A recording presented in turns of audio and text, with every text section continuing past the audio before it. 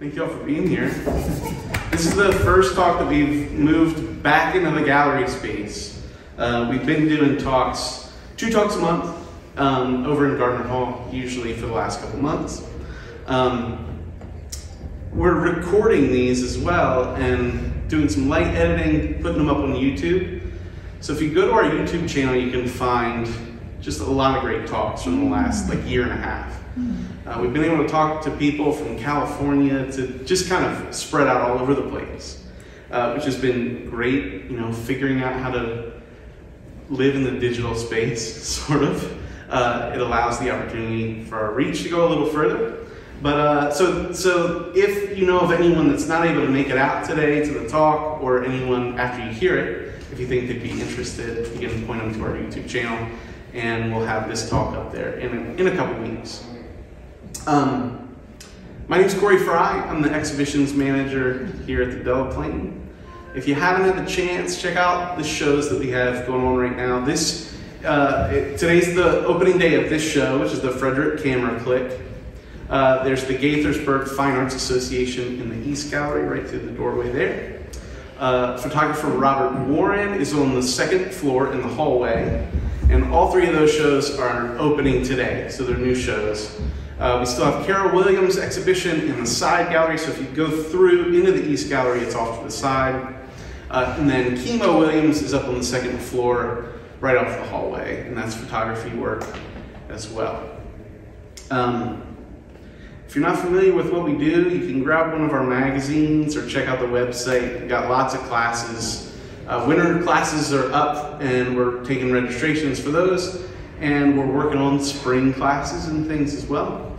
So uh, if, if that's of interest to you, you can check those things out. We've got other programming coming up. Next Friday, there's a, a talk that's a webinar um, with an artist named uh, Geraldine Lloyd, and you can, you can check out how to sign in for that as well. But uh, we really appreciate you being here. I'm really excited about today's talk. Um, I really admire Lesa's work and I think we're in for a, for a good treat. But I'm going to read a little bit about Lesa real quick before she comes up, and I'm going to let her just take things over. Lesa Cook grew up in South Carolina and received a degree in studio art from the University of South Carolina in 1987. In 1990 and 91, she pursued graduate work in computer graphics at George Mason University in Fairfax, Virginia. She continued her fine art studies at the Maryland Institute College of Art, the Corcoran School of Art in Washington, D.C., the Art League in Alexandria, Virginia, the Schuler School of Art in Baltimore, Maryland, and the Florence Academy of Art in Florence, Italy. She resides in Burkittsville, Maryland with her husband where she paints and sculpts. She teaches here at the Delaplaine Art Center, uh, and uh, she's a registered copyist at the National Gallery of Art in DC, of course. Uh, she considers herself a classical realist, drawing inspiration from the great masters and trying to capture not only the natural form, but the emotional reality as well. So if you would, welcome with me Lesa Cook.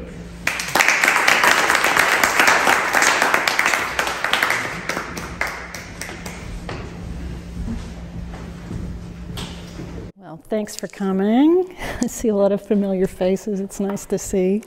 Um, so I thought that I would just talk a little bit about my background and um, mistakes that I've made and how some of them have turned into uh, positives and, um, uh, and also my process and, and my teaching philosophy. So um, Corey kind of covered my um, background, uh, my degree from South Carolina, which I uh, go Gamecocks, but um, but they they did not prepare me for um, uh, for arts in the sense that they didn't teach me how to hold a pencil or how to um, how to work um, as an artist uh, realistically. So I sought out um, when I graduated um, artists whose work I admired, and I took classes from them. So uh, I, I, studied with Rob Liberace for about eight years, and um, and I became a copyist at the National Gallery, and that may have been one of the best things that I that I did because I. Um, if you don't know about this program, they let you they let you come and basically they set up an easel for you, and you can spend all this time in front of these amazing um, works of art and. Uh, it's like, uh, it's very mystical. Uh, you know, I feel like they're speaking to me and I'm, I'm, um, I've become very attached in the space. Um, and I'm learning something specific from every copy that I'm doing. Uh, I've made a lot of bad copies, and, uh, and I learned a lot of lessons from them. But, like, for instance, um, the George Stubbs um, painting of a white poodle, uh, I was trying to learn, really, basically, I was trying to learn how to paint the texture of fur. And so, uh, um, so that was the impetus for, for choosing that one. Um, the the uh, still life, um, uh, his work, I mean, this is, I think, Melendez. I'm probably really massacring that, but um, you know, here's a, a, mistake I made on that was not having a smooth panel. So um, I could not achieve the results, not that I might have been able to otherwise, but I tried to approach each painting the way the artist would have. Um, and I can show you some examples where that, where I didn't do that and it, and it really failed pretty miserably. Um, the Eakins, uh, the, the rowing picture on the bottom. So when I was working on that uh, painting, it's very dark because the varnish has darkened the painting over time. And so that was kind of a challenge uh, to try to figure out what his true colors were. Um, but also I did, I looked up his preliminary drawings for this. And he did schematics of the water and the waves and how the perspective of the waves. And, and I must tell you, I was too lazy to, to do that. But it, I learned, um, I learned by failing on that one, um, not only a further appreciation of his work, but of sometimes what you really, the links to which you would need to go to really depict um, the reflections and refractions in water. Um, this one is a super failure. This is a Boltraffio, and um, uh, you probably know he was a student of Da Vinci. Um, and I tried to paint this like John Singer Sargent instead of Boltraffio. Right? I was doing a, a alla prima version of a painting that really needed to be glazed. And so I could not, not, not that I would have been able to otherwise, but I couldn't achieve um, the effects that he did because I wasn't using the proper method. So um, that's one, one thing with that one. Um, and then there were, there were some surprises. There's always, um, there's always the challenge of working in a public space and, um, and people's comments and um, helpful and, and otherwise. The, the Sargent that I, this one was my first copy. Um, uh, and um, I had a guy come up behind me and say, "Well, your your flesh tones they're they're pretty blue. They're pretty." And I said, "I know, I know. I'm I'm working on that." And he said, "No, I mean it really like rigor mortis." and so, so I'm like, "Yeah, I know." I, and then you know the next the next day somebody came in and pointed to it and said, "Do a do a glaze in quinacridone magenta." And I did, and it, it definitely helped it. So you never knew who was going to be coming in and uh, what, what help they might offer you. And so it was, uh, it's a tremendous opportunity that, uh, that I was able to take advantage of. Um, uh, and then this was a painting I did a long time ago. Um, and I was, I was happy with this painting. Um, but I could see after I did it that, that there were a lot of, a lot of problems that I would, I would do otherwise. Uh, I was so enamored of the face that I wasn't paying attention to the surrounding areas. I didn't have enough soft edges. Um, and I didn't have the proper transitions. I thought it was a good study in color and color harmony, but um, but the surrounding the area surrounding the face seems like an afterthought, and so that was a um, that was something I needed to work on. And um, in my sculpture, I had similar issues. So a lot of times the same issues that I would have in drawing or painting, I would have in sculpture, sculptor, sculpture.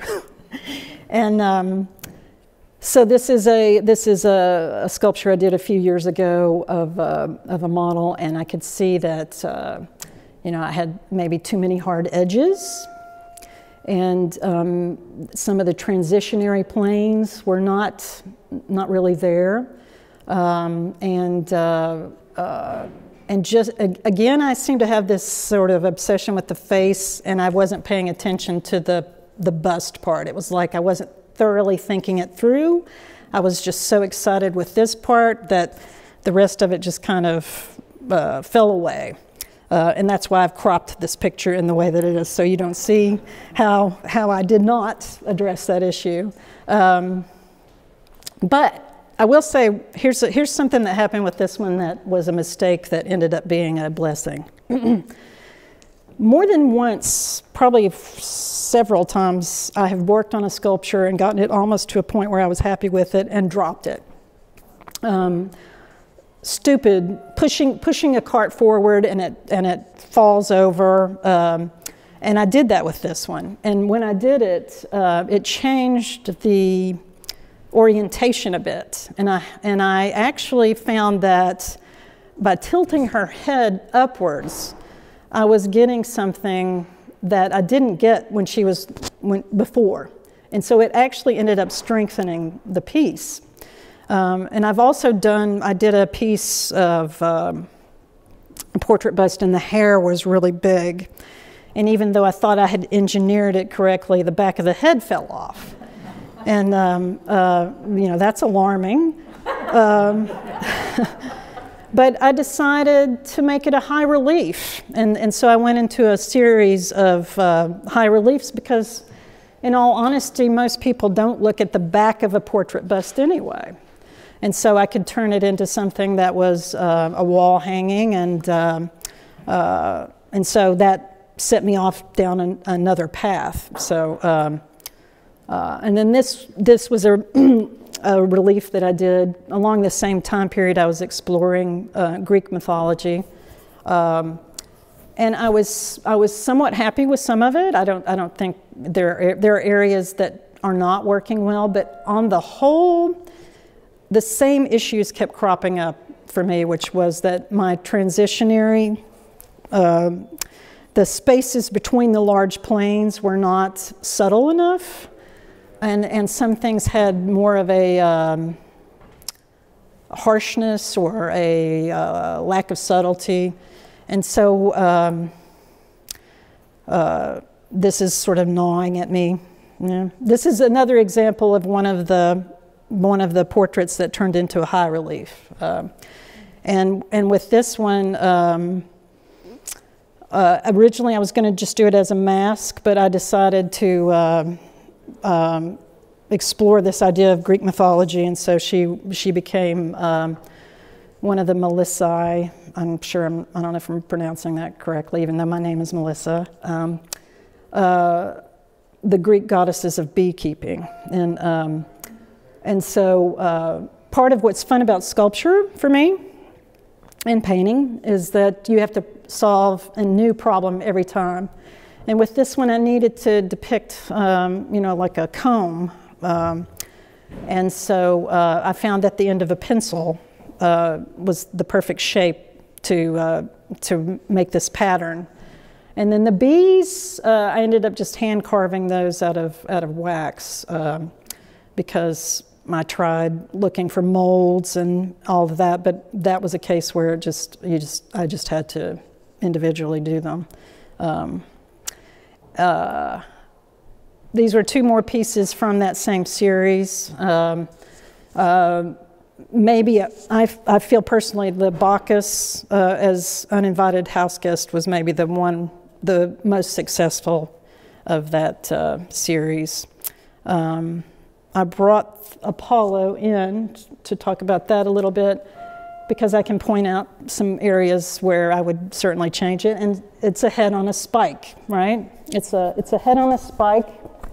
And even though I think there are some exciting things that are going on in the face, um, I would mount it differently and I would pay a little more attention, perhaps give him a sternomastoid muscle.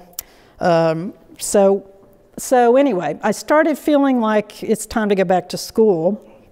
And I, I searched around for places that could, could take my sculpture a little bit further, and I ended up in Florence. And uh, they have a very specific method that they follow. And so, um, so we spent, um, we spent an, a very, um, like one drawing you would spend maybe 45 hours on right? Well, that's not going to happen. In, in the real world, you're not going to have access to a model for that kind of a time period. And um, I mean, it was a, a, beautiful luxury to be able to do that. Um, but, uh, but you have to adapt those uh, methods to the real life when you get back. Um, this was a half life size that I did, um, working with, uh, with a model for five weeks, um, five days a week. Um, and um, this, this kind of shows, I don't know if you can tell here, how they start out a piece, which is everything is done in silhouette, um, almost like a flat, um, almost like a relief, basically. And um, so you make a decision based on what the silhouette is, and then you turn it and you build out from there. Um, and they start with a sculpture, they start with the pelvis and the rib cage, and everything is built up from that. So this is a, an example of the beginning stage. It's a little bit hard to make out on the slide, but the thing that they uh, sort of drill into you is keeping track of the tilt of the shoulders and the pelvis and the center line.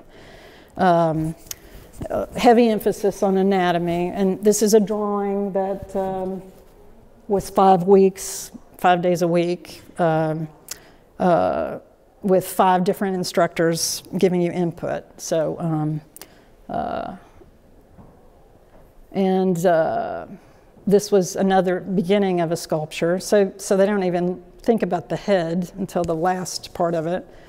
And then this was, I did have, I was in their sculpture program, but I, I knew I wanted to avail myself of their, their uh, painting uh, because uh, um, their painting is basically um, tonal in nature. the founder is, is a big fan of Velasquez and Ribera and, and all those uh, guys, so the palette is very specific. But they were they're able to do something that I wasn't I wasn't able to do, which is they find those transitionary tones, and um, so I did take um, some painting classes when I was there. but I'll tell you, the first year that you're there, uh, you're you're drawing casts, um, and uh, they don't even you don't even get into a figure until you're pretty good at all the uh, transitions on a, on a cast. So, um, so basically, uh, I, I, I was um, happy with some of the work that I was doing there. I did a self portrait. This is the really bad mold that I made that, um, that was shipped back and, and didn't do well in the transit. Um, and then my last, the last project I was working on was starting to get into life size and um, uh, and this is so, so again, it begins with this very strange looking um, box and egg, and then it's, you are building up walls and then filling in in between. Um, and this is where it stood. And then we know, you know, March 2020 came along, and um, I had to get on a plane and leave everything behind. And so um, I was very sad. But um, uh, I think everyone I know did self portraits, um, you know, between March and um, December of 2020. And so, um, so, so did I, because I didn't have access to models anymore. And, um, and I did try, you know, I'm, I found myself trying to incorporate what they had taught me and to try to continue with those exercises. And, um, um, and of course, being nostalgic for Florence, I, I did some um, painting of the, of the city. Um, uh, and then, I, then George Floyd happened, and, um, and I just wanted to touch very briefly on the fact that uh, as an artist, there are there are certainly um, struggles, financial struggles, and and uh, existential struggles. But one of the one of the things that um, I think has served me as an artist is because when something happens that I can't seem to process, or that I have this overwhelming grief over, or or um, then you know I picked up my watercolors and I did something that um, helped to get that out of my body so I could function. Um, and then you find out sometimes that that thing that you did, which you really did for selfish purposes, can connect with someone else who's also feeling the same way. Um, and so, uh, so I started, you know, trying to get back into drawing, and um, and now now I feel like I'm starting to get a little bit more of a handle on hard and soft edges and transitionary planes and uh, more subtlety. Um, and this is, this is uh, one of my recent drawings of a model that I work with. And um, another thing I think all of us have been dealing with is Zoom. and so I was doing a um, demonstration over Zoom for an art group in um, Pennsylvania, and it went horribly, horribly wrong. the um, the uh, the technical aspects of it meant that I couldn't. Ba- she was she was. Uh, they could see her and they could see me working, but I couldn't. I, I can only see her in a space like this, and so I was trying to draw off of a space like this, and um, anyway, it went really, really, really poorly. And um, so I set up an appointment with the model to Zoom, uh, you know, just so I could finish, so I could redeem myself, basically, and prove to myself that I was, uh, I still could draw. And, um, and I have to say for the models that they were the first ones to, to understand what situation we were in. And they set up Zoom sessions and many of them came up with wonderfully creative themes, and, um, and this model, uh, Gazelle, is one of those models. And so, um, so for those of us who felt very isolated, um, there, was, there were opportunities to continue to work when we couldn't be in person. Um, and then I, then I also wanted to touch briefly on how important teaching has been for my growth as an artist. Because not only is the exchange between um, my students and I, um, uh, you know, uh, like a lifeline, um, because I have to present the material to them, it, it, it, I have to re either relearn it or learn how to articulate it in a manner that makes me better as an artist. Um, I'm doing research. I'm, uh, you know, I'm trying to help them solve particular issues, and it, and I'm doing demonstrations. Uh, these these are all from demonstrations in class, um, uh, and you can see from the top portrait that I was. Uh, I'm kind of I was influenced by a copy that I had done at the National Gallery, so so that sort of always crops back up. Um, but the uh, being in a classroom with with students and what they bring to it and and what we exchange in that community is uh, has been as much of a contributor to my, my progress as an artist as anything, I would say. Um, so, um, so I thought I would just step through a couple um, slides of how I set about doing a drawing and a sculpture. Um, and this is uh, this would be like a stage one, um, just blocking it in with uh, with charcoal that I keep very very sharp. Um, so I don't if uh, I'm, I'm, working with nitram charcoal generally, and I I sharpen it to a point that looks like it uh, basically it, it's lethal looking. It's so sharp. I mean, you have to keep the and and it's um, it's it's a key because you can control the charcoal much easier when you're when you're working like that. Uh, although it doesn't look like it here. Um, this would be a stage two where I'm just starting to map in some of the shadow areas. Uh, and then a stage three where I'm um, putting in some of the darker areas. I'm also using a brush, a, a bristle brush, to, to blend these in and get rid of the the noise or the static areas like uh, in between. Um, and again, I'm, now I'm sort of taking the bristle brush and going over the whole thing to, uh, to get a mid-tone and then pulling out some lights and putting in darker areas. Um, continuing with the contrast, and with each of these stages, I'm still correcting proportion. So uh, that's one thing I always emphasize to my students is that the first stage, you're just getting something down and it's wrong. Uh, and then you just make many, many, many steps in trying to um, uh, get it sort of closer, which is very similar to how sculpting goes for me.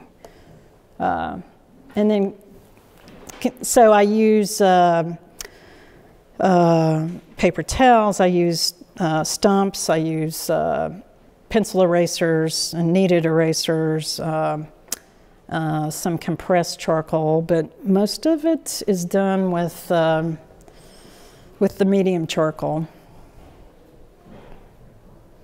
And um, trying to, you know, find the balance between, um, between hard and soft edges and, and uh, what I want you to focus on and uh, composition and uh, texture. Okay, for sculpture, um, uh, this is clay that I did of my husband during also, so no, no models, so that meant that my husband was the only person I had access to. And um, he's not, he was very gracious to model for me, but he is not a professional model. And so, um, uh, so, but he was super nice to do it. So this is the, this is the finished bronze, and I, I brought it in um, because I wanted to talk a little bit about this process because it's the first bronze that I've done. Um, I've, I've always worked in terracotta, and that was another reason why I wanted to go to Florence because I, I wanted to venture into bronze. Um, um, and boy, did I not know how much work bronze was. it's so it's just so much more work. Um, so now I'm here and I don't have access to uh, the instructors in Florence, so I decided to try to find an apprenticeship. And, and I contacted Brian Booth Craig, who is in Pennsylvania and a very uh, accomplished, um, amazing figure sculptor. And so we set up some apprentices, and I went up and, um, in exchange for a lot of um, uh, dog walking, tool cleaning, uh, meal pre preparation, uh, studio cleaning. Uh, he taught me how to, how to really properly make a mold. And uh, so this is the first stage of the mold. Um, and uh, this is his amazing studio. and we did about three coats of that. And then we put um, the keys on. So he has a cabinet maker who makes, uh, you know, a, a, a, mold. And then, then you pour these uh, these keys, and they're, they're, they're placed on it with pins. Um, and then the shims, which are made from soda can um, cut up. And then we, um, then we did the, um, the outer mold, which is rosin. Um, and we, um, so if anybody here has, has sculpted, one of the things that he did that I thought was a very cool trick was he puts magnets in the, in the mold. And um, that way, so I don't know if you can see, the magnets are here, but they're, they're like heavy duty magnets. And then they're also embedded in, the, in this. And so when I place it in the, uh, in the mold, it really uh, clicks it in. Um, and it's, it's just a, it's, it's a nice trick. Um, and then we, we had to pour the wax. Um, it's, a very, it's a specific wax. Uh, and then um, we demolded it. Um, and there were little bits of rubber all caught in it that we had to um, pick out, or I had to pick out. Um, and I had to use the tool to remove the seam from the wax um, and try to blend it in with the texture of the hair. Um, and uh, fill in some, some little holes, uh, almost like soldering um, in a way. And then there's a softer wax that you can fill in smaller areas of, of uh, holes. This just shows you, then I'm cutting out the bottom of the head. Um, and all those little white areas are, are areas of the mold that have to be picked out. Uh, and then this would be that this is like the wax before I was um, sending it off to the foundry. Um, so, you know, a fair amount of time in the mold making, a fair amount of time in the wax, uh, um, you know, getting rid of seams and finding, you know, I thought, I thought my clay looked pretty good and then I get it back in the wax and I see that there are things that don't look good and now I'm going to have to actually do a little bit more sculpting in the wax. So, uh, and then this is the raw bronze that, that comes back from the foundry. Um, and I had to, um, uh, I had to sort of make, uh, widen the area that uh, we were going to weld so that the weld would take properly. Uh, he did the welding, but you know, I, I looked over his shoulder. Um, and so you have this big area here that you have to get rid of. And uh, you can see here and there. And so I had to uh, use a variety of different tools to basically um, grind down and then um, uh, retexturize that area of the bronze.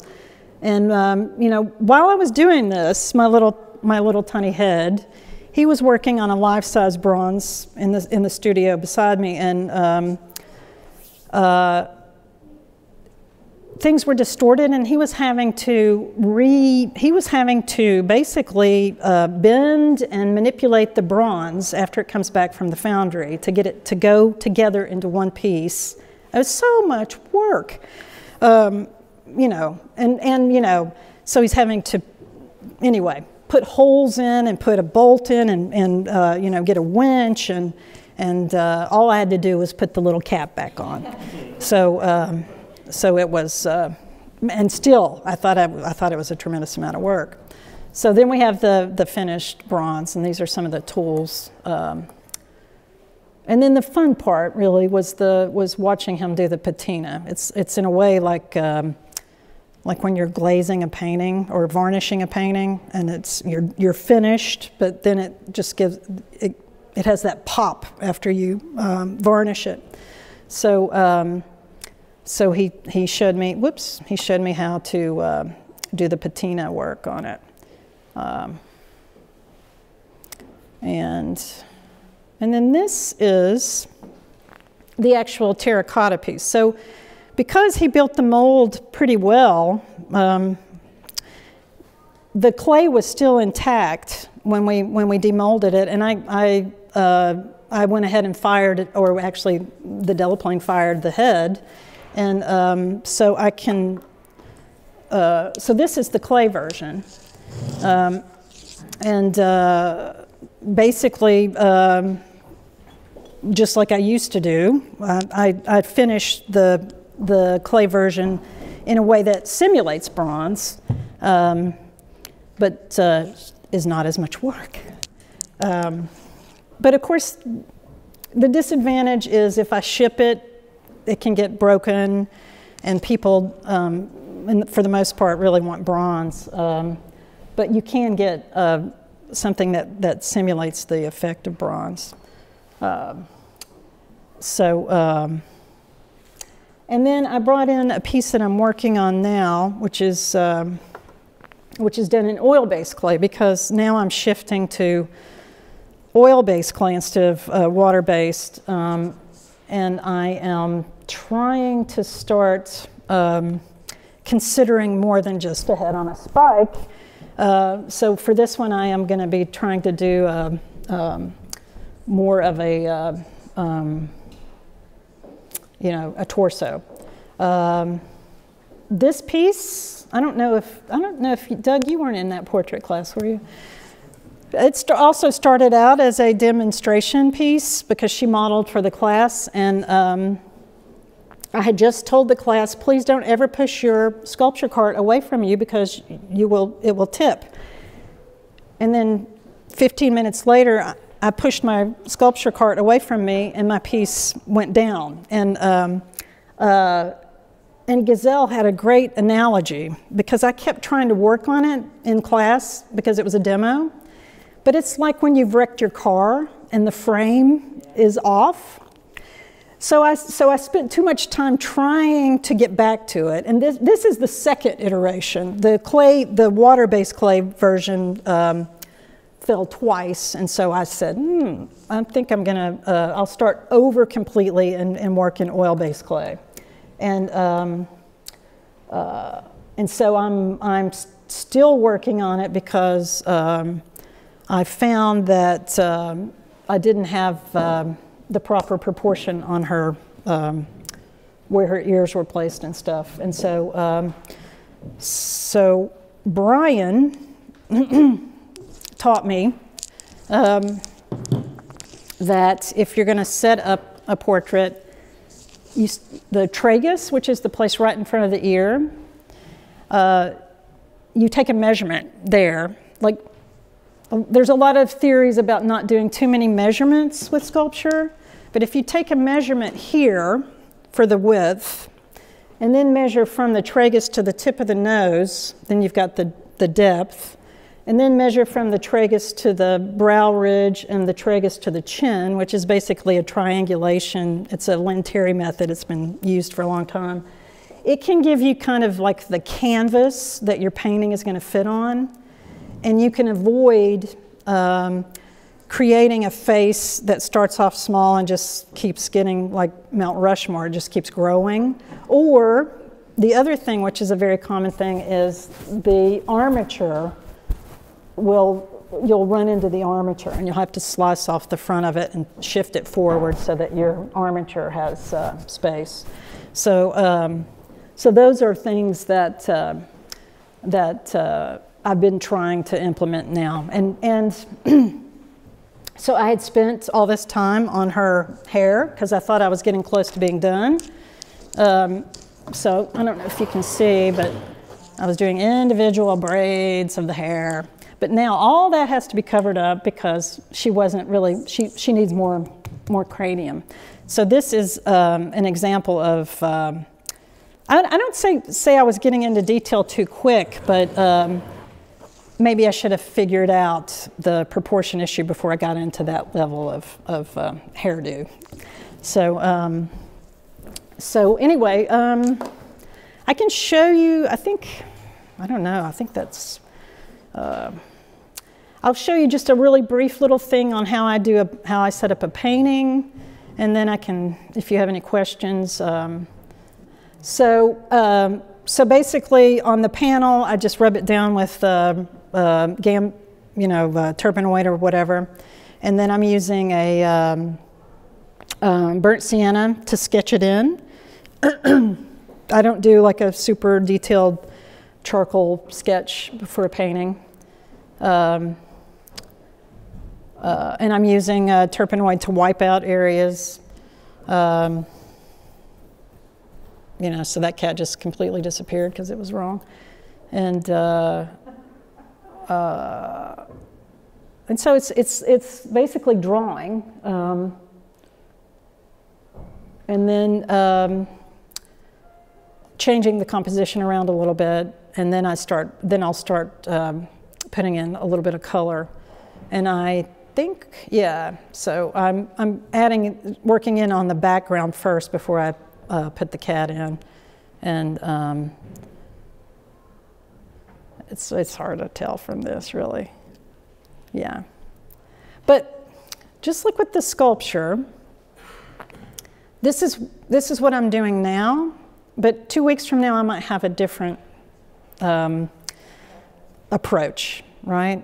Uh, in Florence, they taught you to only start from the side and to build up these walls, and, and I, I did that.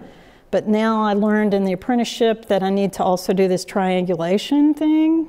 And so I'm, I'm, I'm very leery of any kind of dogmatic approach.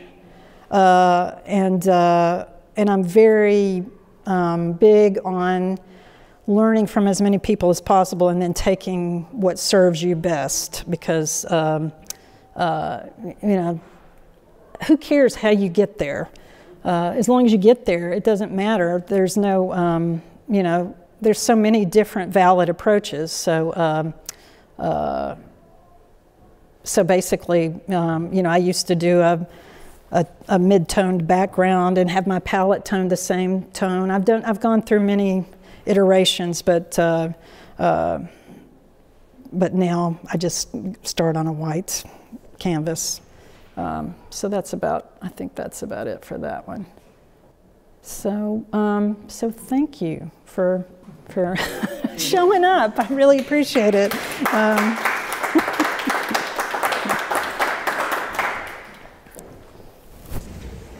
Did you want to take questions? Oh yeah, if anybody's got a question, sure. Yeah. Yeah. Hey. um, I'd like to ask you, uh, so what's the big difference for you in working from water-based clay to the oil-based clay? Mm.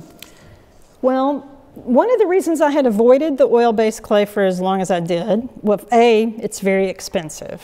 It's, it's really expensive. Um, but B, I couldn't, water-based clay, it's very, um, easy to get a, a, a nice skin texture. I mean, it's, it's easy to work with. Um, and, and the oil-based clays seem to be a little bit harder to work with to get a smooth surface or to get the kind of texture that I wanted to get. But, uh, you know, working with Brian, he showed me how to, how to get those things. And a lot of it is using, I mean, this is citrus solvent that you get at the hardware store and some water and some oil-based clay and you make a slip. In the same way that you make a slip in water-based clay with just clay and water, with this you, you just use that citrus um, solvent in the clay and you can get the same effect that you can with, uh, with the water-based. And so it's also great because I can leave it out. I don't have to worry about it drying and cracking. And um, so it's, um, and if I were going to do a figure, that, that was in some, you know, strange uh, pose. Uh, I could do it in the oil-based clay and leave it out, and, and I wouldn't have to, you know, it's just um, in some. You have longer to work with. It, yes. Without drying out, you have. Right. Okay, yeah. So, so, so, that's the real advantage is, is that it's almost like working with oils or acrylics in painting. You know, when oils you can push them around for a while. Yeah, yeah, it is. Yeah, it's very similar to that. Yeah. So now, so I think for one, I mean, I'm still going to work with water-based clay and fire pieces and all that because there's no way I can go through this bronze process every time. I can't. Um, but um, and also, you know. Um, I like doing, um, right now I'm trying to explore sketchier pieces that are looser, and I think that um, terracotta is gonna, is gonna be a way for me to explore that for a while. Uh, but I think for bigger pieces, I'm, I'm, I'm shifting to oil-based clay now, yeah. Yeah, yeah. And you know, he used he uh, also like pieces of uh, screen for texture and um, um, anyway, lots of little basically technical insider tips that that that uh, made me realize that actually I could get the effect that I wanted with it. So Yeah, It's just a different medium, and so there's just different ways of working with it that you're just not familiar with. right, exactly. It's another absolutely yeah another another um, another um, challenge. But but so far I'm liking the way it's uh, and tools. You know, he he also showed me the proper tools for for for using on So something they're- like that. They're, they're different, you know. I think so, yeah. I mean, some of them I've also used on clay, but um, um, it's just, uh, that's, I think, the big value of studying under all these different people because, um, um, you know, even if it's just one thing like that, like knowing about the solvent and, the, and this slip, that's a, that's a game changer. So, It seems to, like, learning about a lot of things is like that. I mean, if you're learning a language, it's kind of better if you're doing it through different, you know, th- th- this book, you know, and then this series of tapes, whatever, you know, but if you, you get, you know, input from different sources, you know, and I can, with painting, you know, and hearing different pe- pe- people's approaches. I think Makes it more interesting. It absolutely And it does. makes it yours too, because you're, you, you personally, you have this specific person's input and this, you know, you know, so it's. Right, Your and- little group. Yeah, and you find what what what works for you specifically. So yeah, no, I, I'm uh, I'm um, deeply indebted to him for for the way that he has shared his knowledge with me. Yeah, it's it's good. It's good. I think it's going to take um, take me to the next step that I need to get to. So yeah, thanks for that. Yeah, hi. Um, did you pour the uh, rubber mold, or did your um, mentor teacher do that? You mean um, I? I did the uh, he. I was with him, but I didn't trust myself, and I don't think he trusted me either, to do it. Uh, um, to do it on completely on my own. So when I go back, I'll I'll do it, and he'll be in the room. My, my question is, um, did you have to? Because you get a lot of air bubbles with that. I Oh, didn't know yeah. if they had a degasser for it or something like. He does have a degasser, but what he showed me was uh, uh, those uh, those spray bottles that you use to get rid of the dust on your computer or whatever. I, I took that and I, sh- I didn't take pictures of Just that. the air, just compressed Yeah, so I sprayed that, especially like into the areas of the eyes and, and all around the mold, especially on the first layer, of course. And that pushed that in and got rid of the. Yeah, so that's another very, you know, very simple um, uh, hack, I guess. There's a lot of traps. There's a lot of air traps. I was looking at Yeah. it earlier and saw all the air traps. Yeah, absolutely. Yeah, Very good. yeah, yeah. So So how long do you let it set up before you spray it with that?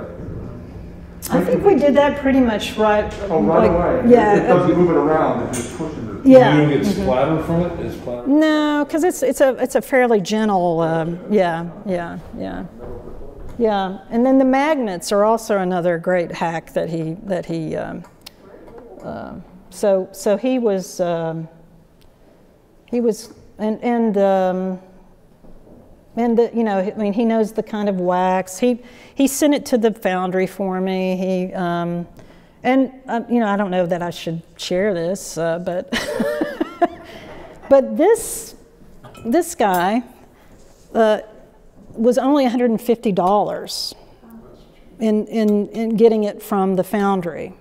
Um, as, that's because all they did was the casting. We, we did everything else. And, um, and that's the only way I can afford to do bronze is, is as a cast only situation. Uh, now, it means that you have to do all this other stuff, but also learning from him, if you allow the foundry to do all that other stuff, they, might, they don't really care so much about your piece as you do. And there, you know, like like I, I, there were things that I saw that I wanted to correct or move around or whatever, or like with him having to really majorly move things.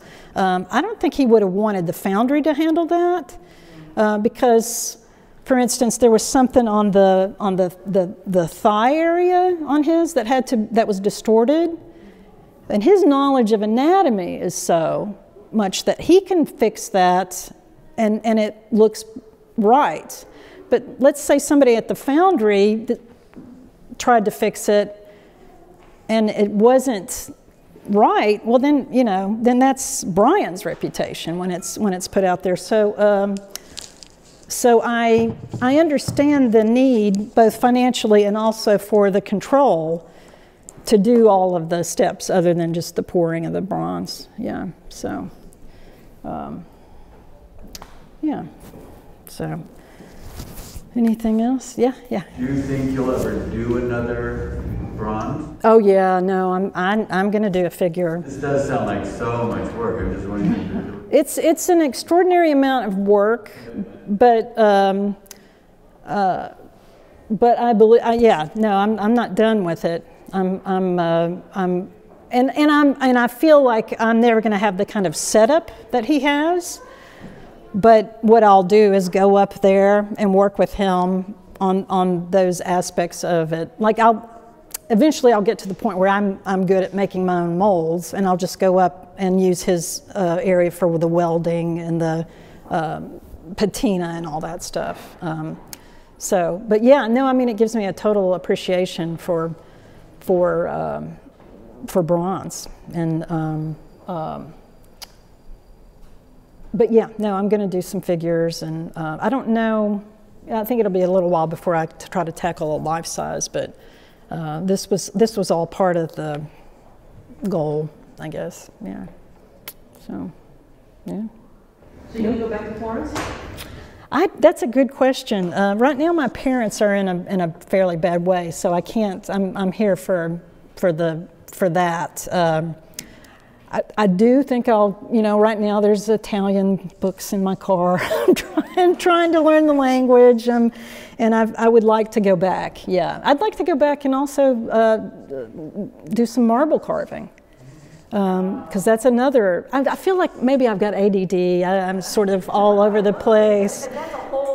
It is a whole other. It's yeah, it's a whole. Absolutely. Yeah, it's the opposite. It's, it's yeah, so um, uh, I need to focus on this for a little while, and, and I'm in a situation where I need to stay put anyway. But yeah, no, I, I eventually plan to, to try to get back. Yeah, yeah, I hope so. Yeah, so yeah, yeah, no, so so thank you for.